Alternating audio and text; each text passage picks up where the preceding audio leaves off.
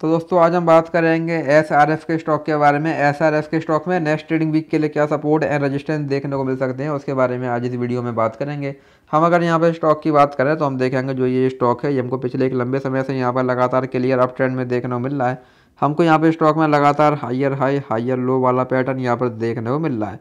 हमको यहाँ पर स्टॉक में बीच बीच में यहाँ पर गिरावट भी देखने को मिली, लेकिन स्टॉक ने कभी भी अपने प्रीवियस लो को यहाँ ब्रेक नहीं किया। और हमको यहाँ पर स्टॉक में लगातार तेज़ी ही देखने मिली है। आज भी हमको यहाँ पर स्टॉक में zero point five zero percent की यहाँ पर तेज़ी देखने को मिली है।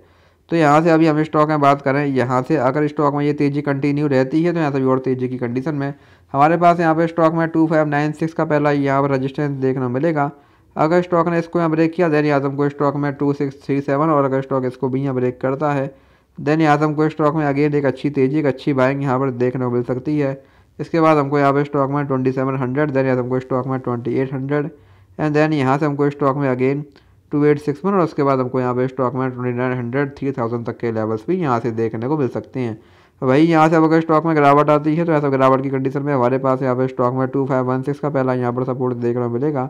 अगर स्टॉक ने इसको ब्रेक किया देन यहाँ से हमको स्टॉक में two four five nine and then यहाँ से हमको स्टॉक में again two four zero nine तक के लेवल्स भी यहाँ पर देखने को मिल सकते हैं एज ए नेक्स्ट यहाँ पर सपोर्ट तो ये स्टॉक में कुछ इंपॉर्टेंट लेवल्स हैं, आप इन पर ध्यान दे सकते हैं। बाकी वीडियो में कोई बाय सेल होल्डिंग सलाह नहीं है।